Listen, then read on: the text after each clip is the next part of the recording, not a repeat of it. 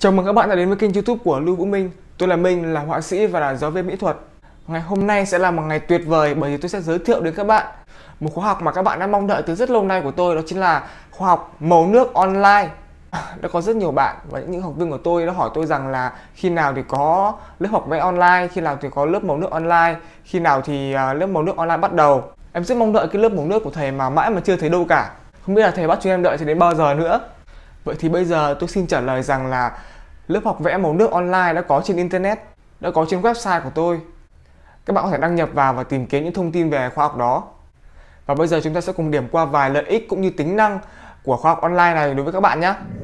Tính năng đầu tiên rằng đó chính là một sản phẩm online, một sản phẩm trên internet và bạn có thể dễ dàng tìm kiếm nó trên mạng. Nó tiện lợi cả về không gian và thời gian. Bạn sẽ không cần phải đến những trung tâm, bạn sẽ không cần cần phải đến những lớp học hay là những cái địa điểm học vẽ xa xôi nữa. Bạn có thể học vẽ ngay tại chính ngôi nhà của các bạn, đáp ứng cái nhu cầu học mọi lúc và mọi nơi. Bất kể khi nào các bạn rảnh, bất kể khi nào mà các bạn có thời gian, à, các bạn mong muốn thì bạn có thể học vào cái khung giờ đó sẽ không bị lệ thuộc vào những cái lớp học à, offline trực tiếp khi mà các bạn phải uh, sắp xếp thời gian uh, theo cái lớp học đó nhưng mà với lớp học online thì các bạn có thể À, tự sắp xếp được thời gian của mình à, thích hợp làm sao có thể à, phù hợp để học cái môn học đó một cách tốt nhất. Bạn sẽ không bị gò bó vào một không gian chật hẹp hay là không gian đông người và nó làm cho bạn cảm thấy là không có thoải mái. Sẽ không có chuyện mà bạn cảm thấy ôi nóng quá ôi lạnh quá ôi nắng quá ôi đông người quá ôi phức tạp quá ồn ào quá bởi vì bạn có thể lựa chọn không gian đó cho chính mình. Bạn cảm thấy không gian nào thoải mái à, như kiểu nhà hàng nhà nghỉ khách sạn hay là công viên hay là vườn hay bất cứ nơi nào thoải mái thì bạn có thể học ở đó chung quy lại là bạn có thể học bất cứ nơi đâu mà bạn muốn và bất cứ lúc nào mà bạn thích. Cái lợi ích tiếp theo của khoa học ngôn nước online này đó chính là sự linh hoạt. Bạn lo lắng rằng là nếu như thầy cô giáo các người hướng dẫn của bạn mà dạy quá nhanh mà bạn không kể theo kịp à, thì với khoa học online này thì bạn có thể xem lại video một cách dễ dàng. Chứ là bạn không hiểu thì bạn có thể xem đi xem lại à, bạn xem đi xem lại nó để bạn có thể hiểu hơn bạn có thể làm nó dễ dàng hơn.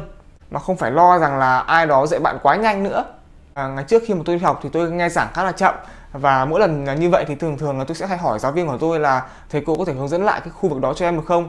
Có thể hướng dẫn lại cái chỗ đó lại cho em được không? Nhưng mà hỏi lần thứ một nhất, lần thứ hai, lần thứ ba thì lần thứ tư rất là khó hỏi bởi vì mình đã hỏi quá nhiều lần rồi. Và điều đó làm cho mình cảm thấy nó là một cái trở ngại khi mà mình học trực tiếp như vậy. Vì vậy, việc xem lại bài giảng là một cái ờ, lợi ích cực kỳ quan trọng. Và cái tính năng tiếp theo đó chính là các bạn có thể nộp bài online thay vì các bạn phải đến trường, đến lớp, các bạn nộp bài thì bạn có thể ở nhà chỉ bằng một vài thao tác ấn phím là bạn có thể gửi bài đi à, cho các thầy cô giáo. Để các thầy cô giáo có thể nhận xét về bài tập của bạn. Cực kỳ tiện lợi, đúng không nào? Các bạn sẽ không phải di chuyển quá xa, sẽ không phải mất thời gian đi lại và tiết kiệm rất nhiều thời gian.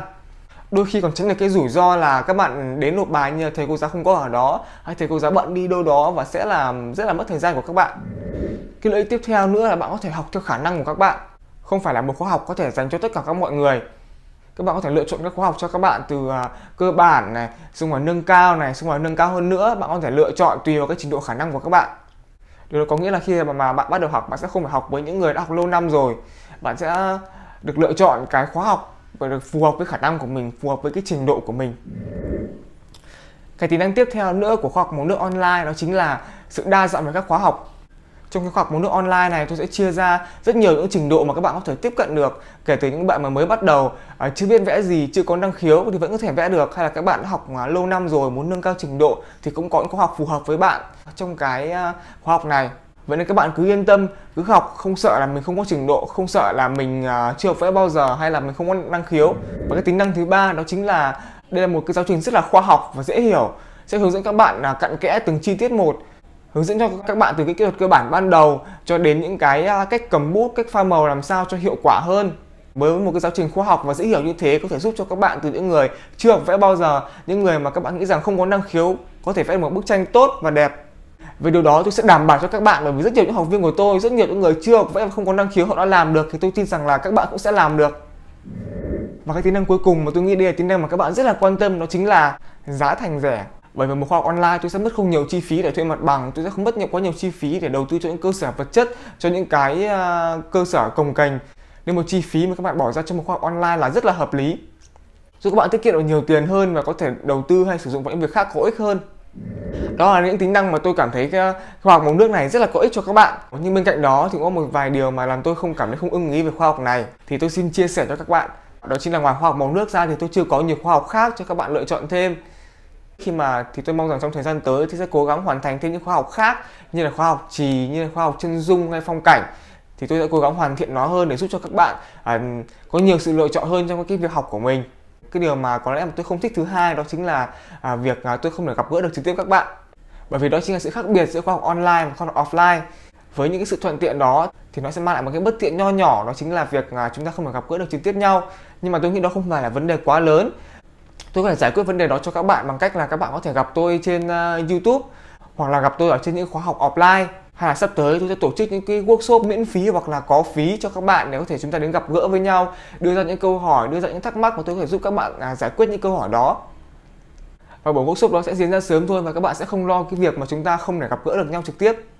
Với bằng ấy những tính năng với cái lợi ích thì tôi tin rằng là các bạn đã có những cái thông tin cần thiết cho mình về khóa học uống nước online này rồi tôi hy vọng rằng các bạn sẽ nắm rõ những thông tin đó và sẽ có những cái suy nghĩ và quyết định làm sao cho đúng đắn.